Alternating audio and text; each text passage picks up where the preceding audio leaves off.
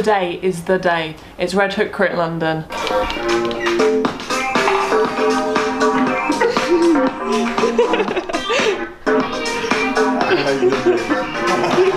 Everyone keeps falling off.